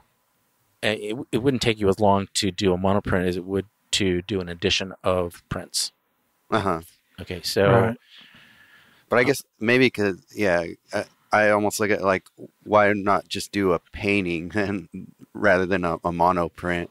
Um, oh, because it's a process. It's a printmaking process, and it's a unique way of creating a different. Uh, it's a unique way of creating art that's that's done not using a paintbrush Okay. necessarily. I mean, you can use a paintbrush in monoprinting as well. Uh huh. You know, if you want to get that s- that the you know the the strokes involved in uh, in the actual work, you can do that. hmm You know, but you're not physically painting the mo- monoprint. You're actually painting plexiglass Yeah. Yeah. to transfer it to the painting or to transfer to the paper. Right. Yeah. For some reason, that's really hard for me to wrap my head around. Maybe because I'm just so used to painting on canvas or, or like having that painting be the thing that you end up putting on a wall rather than like going through this extra step of uh, putting it through a press. Mm. So, Right. Yeah. Yeah. Well, and the way I the way I work with monoprints is uh, it's not necessarily just a one run pull through the press. okay. It's multiple runs, multiple multiple runs because I'm working multicolor, okay. and you can do multicolor in one run as well. But Hmm.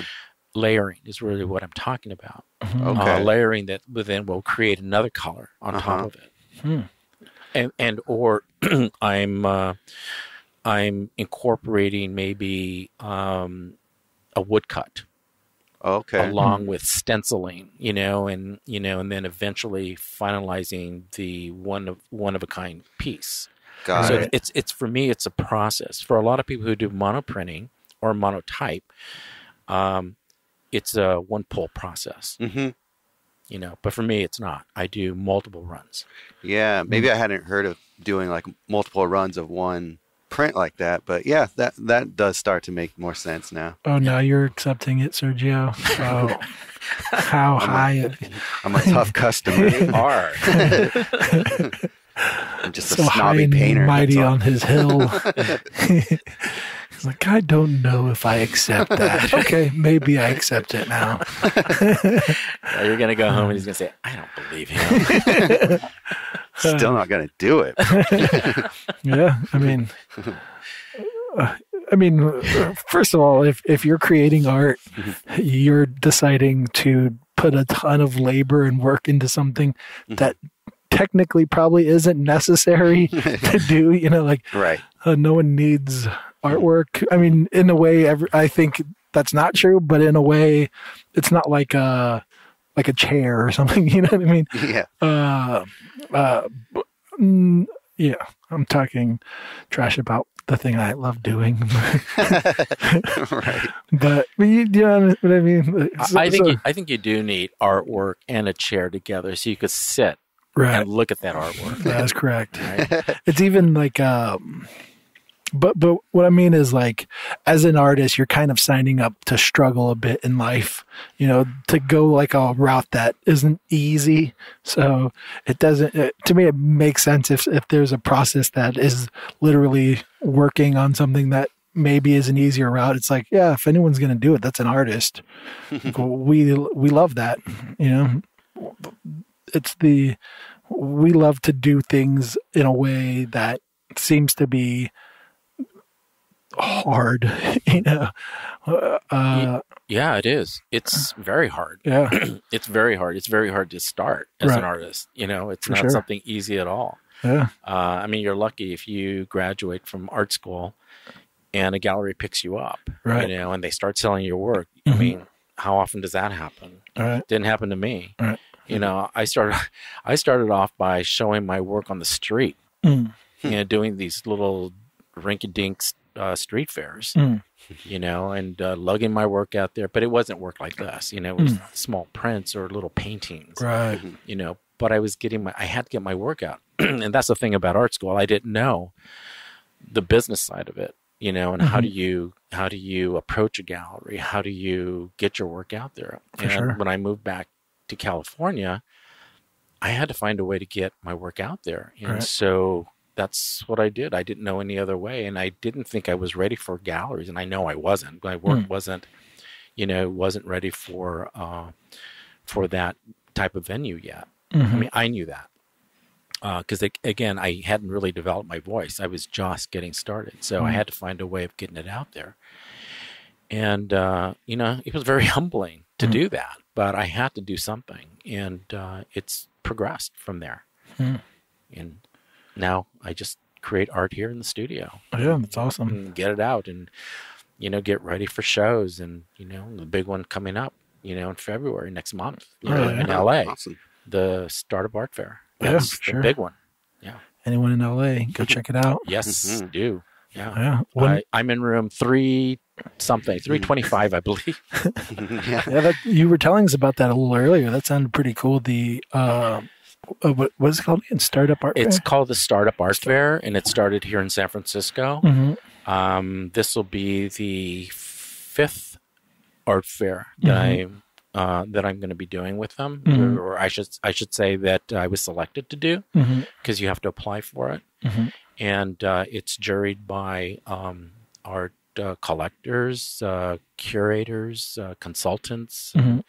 Gallerists, uh, people who write about, about art. So there's a panel of, uh, of judges that go through all of the um, uh, applications, Mhm.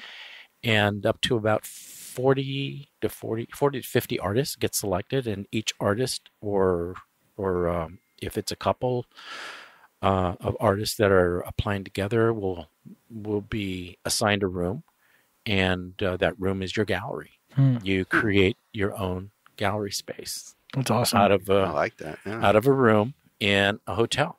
Yeah. And in uh, L.A., it'll be in uh, in Venice, and uh, the hotel is the Kinney Hmm. Hotel. That sounds like a great idea because I think one of the interesting or one of the tough things with artists sometimes is is figuring out who's purchasing your your paintings. Sometimes galleries like to hold on to that info, Mhm. and Yes, they do. and and so you know having an event like that where you get to directly meet collectors seems like a great opportunity. Yeah, it is. I mean, it's a great way to meet them, talk to them. You know, they they discover you for the Mhm. first time, or maybe there are people that follow you that Right. you know will come to see what you're showing at the fair, or whatever fair you're doing.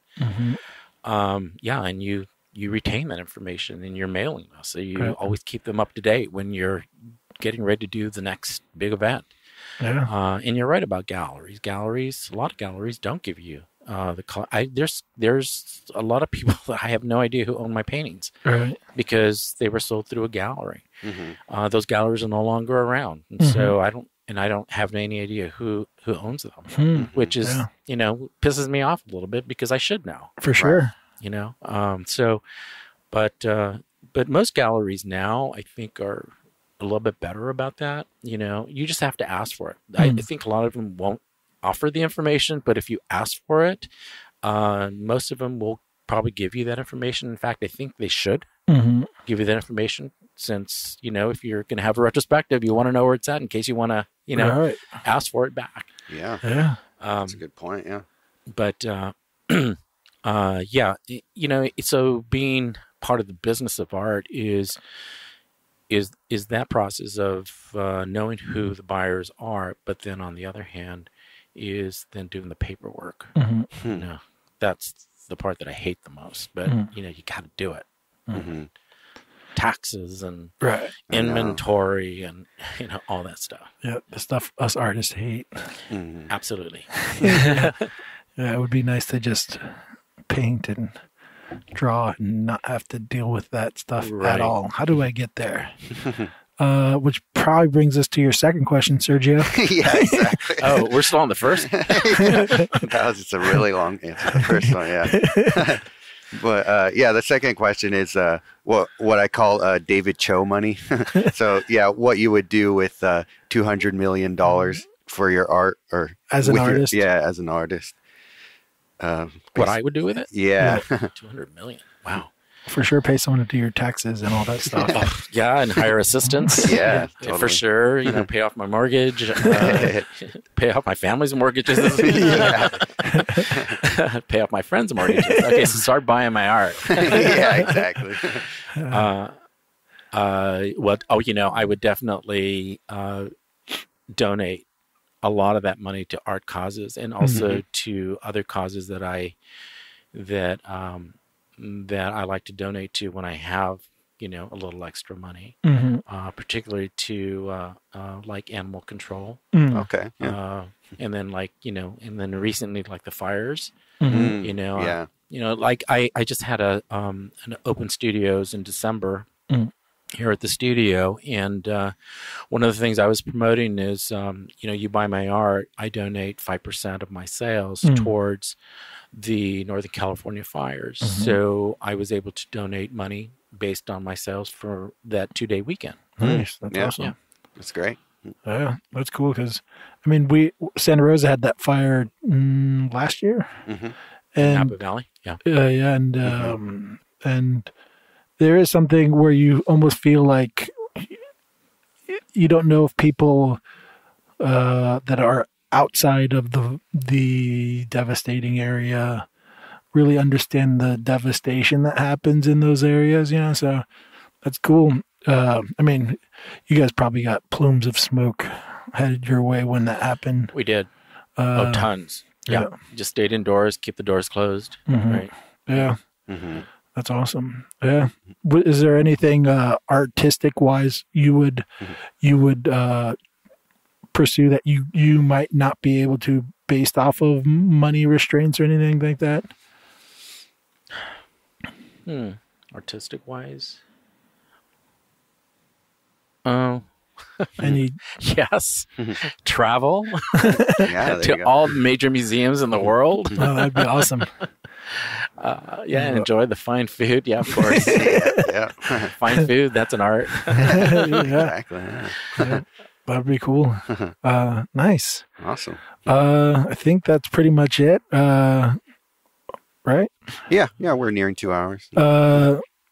Uh, uh, we'll post the images of your pieces on our that we talked about and uh, on our social media and at you, so people can find your work and see what we're talking about. Um, and Yeah, and what's your website? Just so people know. Yeah, the website is F Reyes Art, Okay. F R E Y E S A R T dot com. Nice. awesome. And then, uh, are you showing in the Bay Area anytime soon?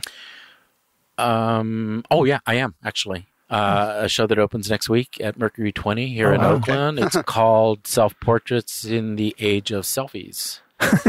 really? Yeah, and in fact, I posted uh, my my piece on Instagram, Mhm.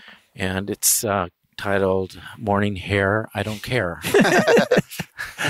Is that the self portrait? That's the self portrait Okay. that'll be in the show. awesome. Right. nice. nice. Great. Uh, awesome. So yeah, check your everyone check his work out. Uh, I really love the work. Um, I'm also a big fan of line work, so Mhm. that's like my jam. Uh, and uh, yeah, thank you so much for doing this.